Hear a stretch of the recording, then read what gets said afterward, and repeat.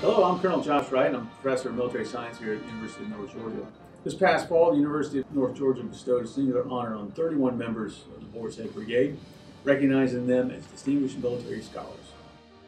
Hi, I'm Dr. Delynn Armstrong Williams, Department Head of Political Science and International Affairs here at the University of North Georgia.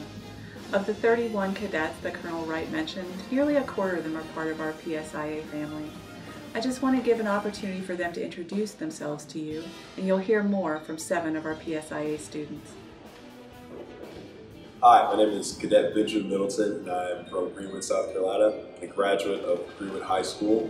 I'm currently a Russian major with a minor in International Affairs and European concentration.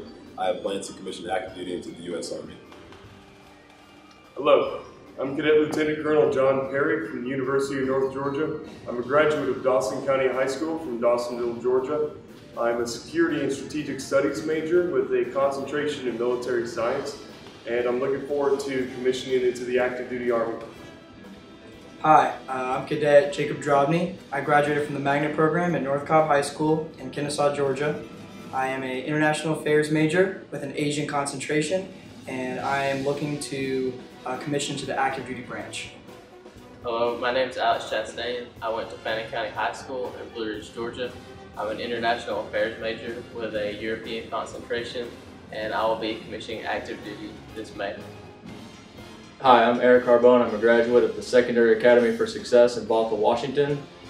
I am a senior with a political science major, and upon graduation, I will commission into the active army. Uh, hi, I'm Cadet Jericho Searcy. I am a graduate of East Coweta High School from Newnan, Georgia. I am a strategic studies major with a concentration in military science, and I will be commissioning into the active duty Army.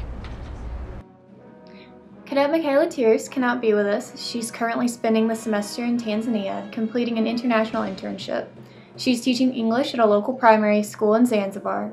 A graduate of Hillcrest High School in Tuscaloosa, Alabama, Micaela will be graduating in May 2020 and commissioning on active duty in the U.S. Army. What does it take to receive your recognition as a distinguished military scholar? First, you'll be in the upper half of their academic class here at the University of North Georgia. You got to be in the upper third of the ROTC class. You also have to be in the upper third of the University of North Georgia's Order of Merit list. In addition, these cadets have to be in the upper third of their physical fitness. The seven future officers you just met, along with their 24 classmates, bring great credit upon themselves, the University of North Georgia, and the United States Army. We're very proud of their accomplishments. I and the entire Department of Political Science and International Affairs are so proud of the accomplishments of our cadets.